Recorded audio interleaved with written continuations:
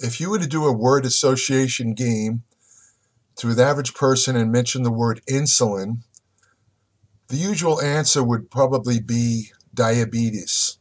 And that is actually makes that actually makes sense because diabetes mellitus, as the disease is called, consists of two different types of diseases, or actually one disease, but two, let's say, subdivisions.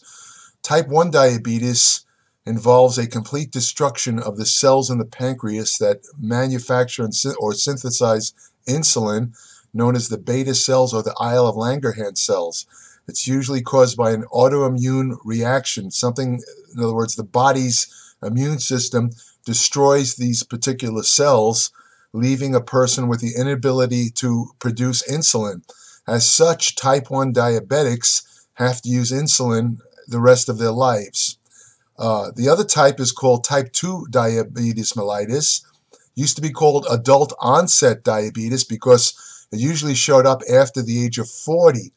However, uh, it's it's now started to uh, show up in uh, kids as young as 12. There's a lot of reasons for that that are beyond the scope of this video. A lot of it has to do with physical inactivity and consu large consumption of processed carbohydrates. Uh, in any case, uh, I'm not going to be really talking about insulin in relation disease, to disease in this video. Uh, I'm going to try and make this a two-part video. And in this first part, I'm going to discuss uh, the dietary controversies related to insulin uh, such as that related to a low carbohydrate diet. Uh, you know, there. Uh, and then the second part, I will talk about some of the controversies of insulin as an ergogenic aid for use in bodybuilding and sports. Uh, there's a lot of myths and misconceptions about that in particular. I mean, I, I, just right before I did this video, I did a little web search, and I saw a couple of uh, blogs or websites that have articles on insulin, and among the things they say about insulin is that it's the most anabolic hormone in the body. Well, I'm going to discuss that, and I'm going to tell you the truth about it. But let's get started here with this uh, first part related to diet.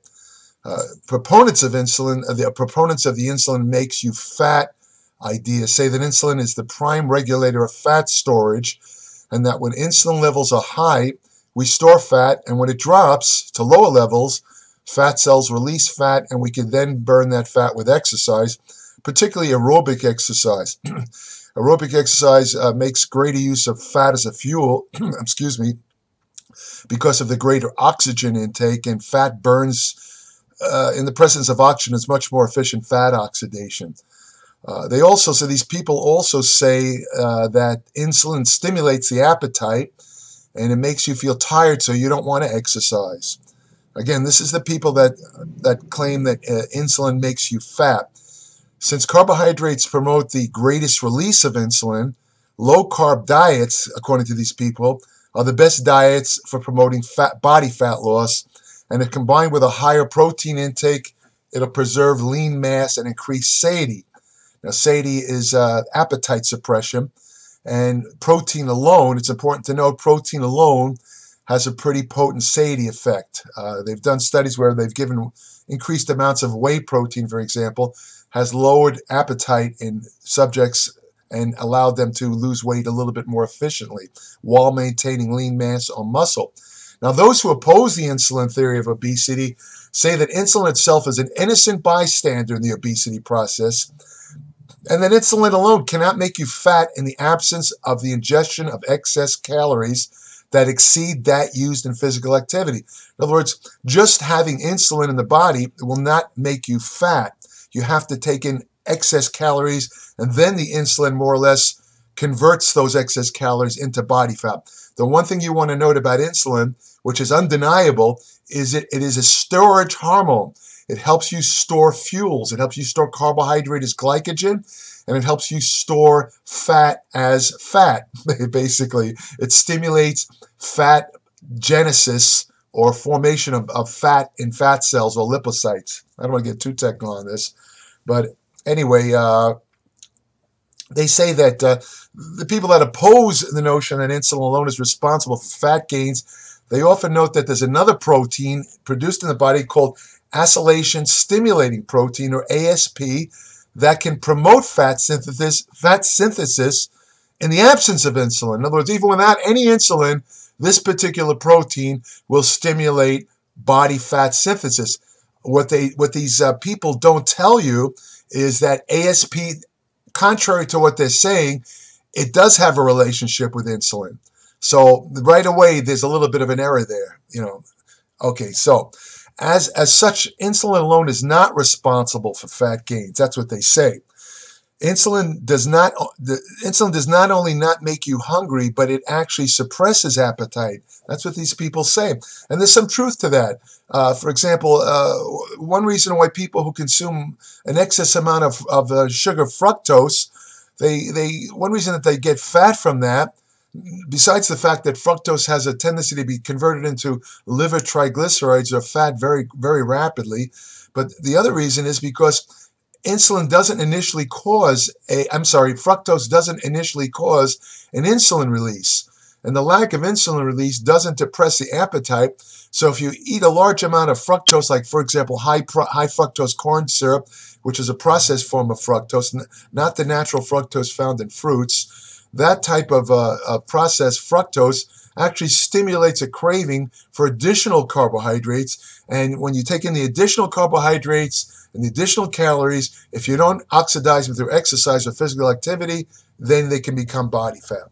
Another point to, to mention is that protein, or more specifically amino acids, this is a, uh, by the way, this what I'm saying now is a point often voiced by those who say that insulin alone is not the cause of uh, excess body fat as the low carb, let's say, uh, camp says. But in other words, what these uh, these uh, insulin doesn't make you fat proponents say is that they note they note that protein, and more specifically amino acids, promote just as much or even more insulin release than does carbohydrates. And it's true. Leucine, for example, which is probably the most potent of all amino acids in stimulating muscle protein synthesis, leucine alone uh, stimulates a, a, a, huge amount, a fairly huge release of insulin, right? Uh, and you know, but but here's the problem with that theory. They they they they use it. They they talk about the protein effect in stimulating insulin, but what they don't explain is why consuming a high protein intake rarely or ever produces a significant gain in body fat and is in fact associated with reduced body fat gains. I, I have been involved in exercise and the study of nutrition for five decades, and I've yet to meet a single person, not one, not a single person that ever got fat from eating a high protein diet. Never happened. They just released a study of bodybuilders in which study in which the bodybuilders, and I wrote about this in my Applied Metabolics newsletter, in which the bodybuilders consumed five times more than the suggested requirement of protein to build muscle, and there was no body fat accretion whatsoever. And yet, that protein was undeniably stimulating insulin. So why does it, if protein stimulates insulin as much as, let's say, carbohydrates, why is it that people don't get fat from eating protein, but they get fat from eating carbohydrates? Clearly, there's a missing link in there somewhere, right? Okay. Uh, I mean, uh, also another thing I want to mention is the fact that when they've done studies, dozens and dozens of studies, one after another. I just saw one the other day when they compare a low-fat, high-carbohydrate diet to a low. I'm sorry, uh, did I say yeah? Low-fat, high-carb diet when it's compared to a high-fat, high-protein diet that's low in carbohydrates. The low-carb, high-fat, high-protein diet always in every single case proves superior to the low fat, high carb diet for, for purposes of reducing body fat and for increased fat oxidation. High fat, high protein, greater fat oxidation in every study. In fact, I just saw a study just the other day, which again directly compared a low fat, high carb diet to, and this is not people working out, this was average people. They were not involved in exercise, they were not bodybuilders. One group had a low fat, high carb diet. The other group consumed a high fat, high protein, low carb diet. The low fat, high carb diet people lost no weight at all. The people on the low on the low on the high fat this gets confusing. The, the people on the high fat, high protein, low carb diet all lost body fat. And guess what? Both groups consume the same amount of calories. Now, my question to those who talk about how protein and carbohydrates, the effect on insulin the same, how do they explain that? They don't. Instead, they'll point to people around the world, for example, in Asian countries, who regularly consume a high carbohydrate diet uh, and a moderate to moderate to low protein diet. And these people have no body fat. They're very lean. They consume a fairly decent amount of carbohydrates. Now, they the the uh, the people that claim that insulin doesn't make you fat, they point to these people and say, now obviously they're eating a lot of carbohydrates. If carbohydrates made you fat, why are these people so lean? Here's the answer to that question, which these people don't supply, which I'm going to supply. If you look at these people, first of all, they don't have a condition called hypertrophic hyperplasic obesity, which involves fat cells that are larger and that contain more fat than normal. They and uh, because of that, they're basically not set up to gain a lot of fat. They probably have certain genetics related to fat enzymes that also set them up for not becoming obese. And furthermore, they stay lean all their lives, and as a consequence, they don't secrete large amounts of insulin when they eat those carbohydrates. So the carbohydrates that they do eat are likely used in physical activity, and that's the other side of the dimension. Is the fact that these lean people in Asia and other places they tend to be active and they burn off the carbohydrates. See, because it's a fact that, and this is again undeniable, carbohydrate is stored in the human body in the form of glycogen in muscles and liver. Once those glycogen stores are filled, once they're filled with carbohydrate, the only fate of excess carbohydrate is to either be oxidized in the liver or through exercise, or if it's not oxidized, it's converted into a saturated fatty acid called palmitate and it's stored as body fat. So the notion that excess carbohydrates don't cannot make you fat is utter nonsense. It's obvious all around you. All around. Look at all these people that eat processed carbohydrate. Now the the uh, the anti uh, the insulin the insulin doesn't make you fat proponents they would respond to that by saying the reason people get fat is not from eating excess carbohydrates it's from a combination of excess carbohydrates and excess fat intake. Because when you eat a lot of carbohydrates and fat, the fat is more or less not used and it's kind of pushed into fat stores. There's a lot of truth to that.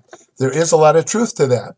But the point is, though, that, and this is the, part, the point that I'm trying to make, is that a lot of these people who, who follow this type of, uh, let's say, high fat, high carb intake, they already have they already have a good amount of body. All right, that's it, Chip. That's my dog.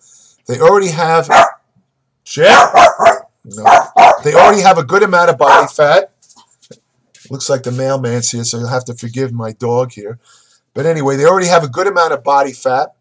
And as a consequence, uh, they tend to, when you have a large amount of body fat, it, it causes a condition called, well, it causes a fat buildup in the liver. It gets a little complicated, but let's just say that these people are, they, they, they tend to become what they call insulin insensitive. And when you're insulin insensitive, every time you eat carbohydrate, you kick out a lot more insulin than normal. The point about this is that when insulin is high, two things, uh, when, when it's secreted in large amounts, two things happen. Either body fat is being synthesized or body fat is being maintained.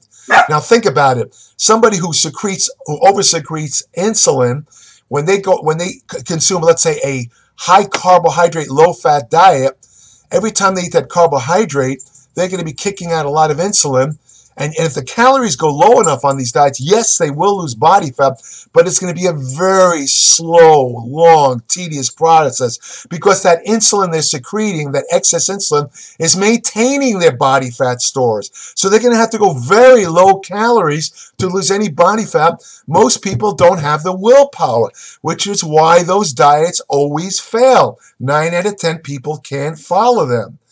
Uh, so, you know, this is the missing element. The, the missing element uh, between you know between the argument between insulin makes you fat and uh, it's carbohydrates and insulin, blah blah blah. The the the uh, the missing element that the people that talk about how insulin doesn't make you fat, they're overlooking the fact that insulin does play a role in a person that has already has excess body fat and already are secreting excess amounts of insulin. They're hyperinsulinemic. When they take in carbohydrates, the you know the carbohydrates because of the excess insulin, it's going to tend to be either ma- the body fat is either going to be maintained or the diet or the loss of body fat, unless they do a tremendous amount of, of exercise, is going to be blunted to the point of, of, of, of nothing. So that's something to, uh, to keep in mind. My dog's barking is driving me crazy.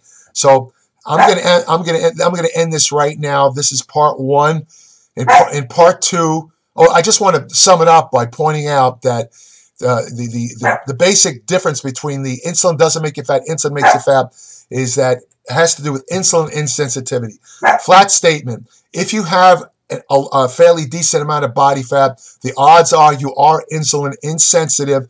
And what the studies show if you're insulin insensitive, a low carbohydrate, higher protein diet will work much better for you than a high carb, low fat diet. Period. I'm gonna end it here now.